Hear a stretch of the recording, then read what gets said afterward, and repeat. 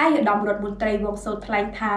បច្ចុប្បន្ននេះមើលឃើញយ៉ាងច្បាស់នៅការដឹកនាំប្រទេសនិងគុណបំណាច់ដ៏មហាធំធេងរបស់សម្ដេចតេជោហ៊ុនសែននិងគណៈបកប្រជាជនកម្ពុជាបានសង្គ្រោះជាតិឲ្យរស់ឡើងវិញរួចផុតពីរបបប្រល័យពូជសាសន៍ប៉ុលពតមកដល់សពថ្ងៃមានភាពសុខសាន្តពីផ្ទៃប្រទេស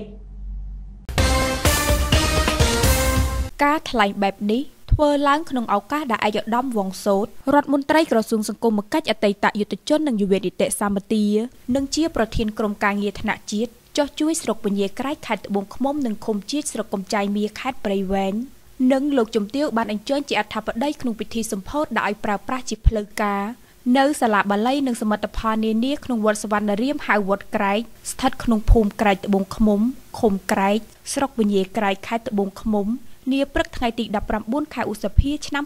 2022នេះអាយុដំរដ្ឋមន្ត្រីបានសង្កត់ធ្ងន់ទៀតថារាជរដ្ឋាភិបាលកម្ពុជា បានទប់ស្កាត់មិនឲ្យរបបដ៏យងក្នុងប្រឡាយពូជសាសន៍ប៉ុលពតវិលត្រឡប់មកវិញនិងបានផ្ដល់សិទ្ធិសេរីភាពគ្រប់យ៉ាងសេចក្តីថ្លៃថ្នូរនិងស្ដារអភិវឌ្ឍសមិទ្ធផលថ្មីៗជាបន្តបន្ទាប់ទៀត ជាក់ស្ដែងសាលាបាលីដែលត្រូវសម្ពោធដោយប្រើប្រាស់នៅពេលនេះអស់ជិត30ម៉ឺនដុល្លារសហរដ្ឋអាមេរិកថែមទាំងវិស័យពុទ្ធចក្រមានសមិទ្ធផលនានាដែលកំពុងរីកដូចផ្សិតបណ្ដាវត្តអារាមទាំងអស់នេះគឺកើតចេញពីកត្តាសន្តិភាពទន្ទឹមនឹងនេះអាយុដំរដ្ឋមន្ត្រីបានជំរុញដល់បងប្អូនប្រជាពលរដ្ឋត្រូវចូលរួមការពារ ហើយកុំភ្លេចទៅទទួលវ៉ាក់សាំងបង្ការជំងឺ Covid-19 ពីរាជរដ្ឋាភិបាលកម្ពុជាបន្ថែមទៀតប្រសិនបើបងប្អូនមិនទាន់បានចាក់ដូសទី1ដូសទី2រួចត្រូវទៅបន្តចាក់ដូសជំរុញបន្តទៀតដើម្បីទប់ស្កាត់បង្ការការពារជំងឺដ៏កាចសាហាវនេះអាយុដំវងសោតបានអំពាវនាវដល់បងប្អូនប្រជាពលរដ្ឋទាំងអស់ មានសិទ្ធិជ្រើសរើសជីវភាពនយោបាយទៅតាមការពេញចិត្តនិងទៅបោះឆ្នោតជ្រើសរើសក្រុមប្រឹក្សាឃុំសង្កាត់អាណត្តិទី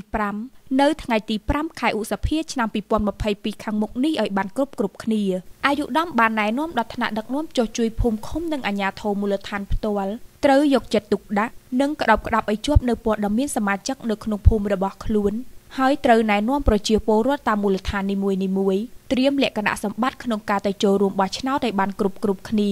នៅថ្ងៃទី5ខែមិថុនាខាងមុខនេះជាពិសេសត្រូវត្រៀមឯកសារបម្រើដល់ការបោះឆ្នោតដូចជាអត្តសញ្ញាណប័ណ្ណជាដើមដើម្បីបោះឆ្នោតជូនរាជរដ្ឋាភិបាលកម្ពុជាផងដែរ